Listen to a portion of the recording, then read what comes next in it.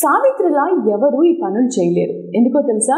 నాగేశ్వన్ డైరెక్షన్లో వచ్చిన మహానటి మూవీతో సావిత్రి గురించి అందరికీ ముఖ్యంగా ఈ తరానికి తెలిసింది. ఈ సినిమాలో మహానటి పాత్ర పోషించిన కీర్తి సురేష్కి ఉత్తమ నటిగా అవార్డుతో పాటు జాతీయ అవార్డు కూడా అందుకుంది. అయితే ఈ సినిమా తర్వాత సావిత్రికి సంబంధించిన ఇంకా ఎన్నో విషయాలు వెలుగు చూస్తున్నాయి. తెలుగు వారికి కాకుండా దక్షిణాది సినిమా ఇండస్ట్రీ మొత్తానికి సావిత్రి అంటే ఎవరో తెలుసు. సావిత్రమ్మ పౌరాణిక సాంఘిక సినిమాల ద్వారా నటిగా బాగా పాపులర్ అయ్యారు. ఎన్టీఆర్ జగ్గయ్య నడిపిన నాటక కంపెనీలో కూడా ఆమె పనిచేసింది.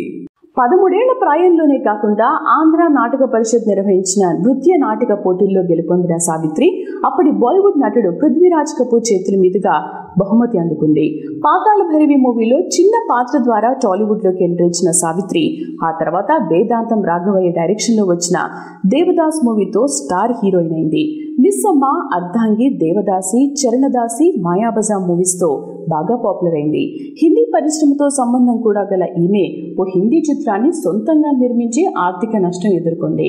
జిమ్నీ గణేశంతో పెళ్ళయ్యాక వైవాహిక జీవితంలో ఎన్నో లోటుపాట్లు చూసింది. క్రికెట్ అంటే ఇష్టపడే ఈమె తారలంతా కలిసి క్రికెట్ ఆడే సంప్రదాయాన్ని కూడా ప్రవేశపెట్టిందని అంటారు.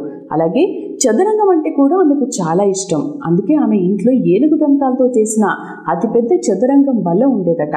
మిమిక్రీ కూడా తెలిసిన Savitri Gemini Ganesan B. Sarojadevi S V Rangarao తదితరుల గొంతులను మక్కీకి మక్కి అనుకరించేదట. అడిగిన వారికి లేదనకుండా దానమివ్వడం ద్వారా ఆర్థికంగా ఆమె పతనమైందని అంటారు. మూగ మనసులు మూవీ ఆమెకు ఎంతగా నచ్చిందంటే తమిళంలో శివాజీ గణేశన్ హీరోగా తానే స్వయంగా నిర్మిస్తూ దర్శకత్వం వహిస్తూ రీమేక్ చేసింది.